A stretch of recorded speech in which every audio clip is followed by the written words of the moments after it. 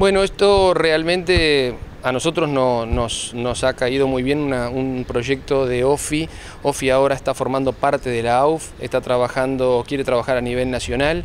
y quiere también que este, tratar de mm, aquellos niños que tienen más condiciones o, de repente en el momento, en el año que se trabaja tienen condiciones, porque a veces maduran unos más que otros, pero que todos los clubes que tienen chiquilines que termina el baby fútbol, los chiquilines sub 14, empiecen a trabajar en una especie de selección, tres días a las semanas.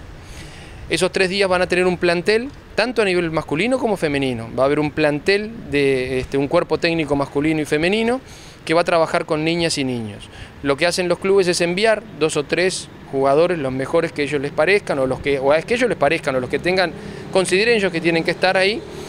para trabajar con este grupo que va a tener una metodología que va a ser igual en cuatro departamentos, que va a ser el plan piloto, cuatro departamentos en los cuales Rivera está incluido y el intendente ya ha manifestado este, su apoyo al proyecto, en el que se va a nombrar un coordinador para que esté a cargo de esos cuerpos técnicos, que evidentemente van a constar con un director técnico, que tenga que tener la titulación o la preparación necesaria, un profesor de educación física titulado, para que trabajen un equipier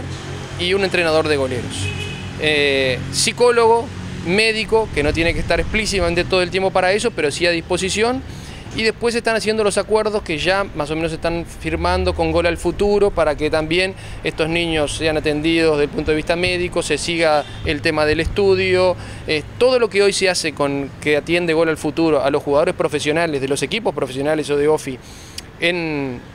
que básicamente están en el sur, se harían también en este proyecto. Por eso nosotros creemos que es muy importante. En el femenino sería sub 13, sub 14, pero se extendería también, a veces por la falta de chiquilinas, a un sub 14, sub 16. Eh, nosotros ya prácticamente tenemos, te diría que muy adelantado para dentro de, dentro de poco empezar este proyecto y creo que le va a venir muy bien a los clubes. De todas maneras, este, el profesor Franco y Luis Matosas, que son los que están un poco encargados recorriendo el país, viendo las posibilidades de cada departamento, van a venir para tener otra segunda charla con los clubes directamente y explicarle qué es lo que quieren, este, donde se va a brindar desde una... Mm, de, se les va a enseñar un poco a los clubes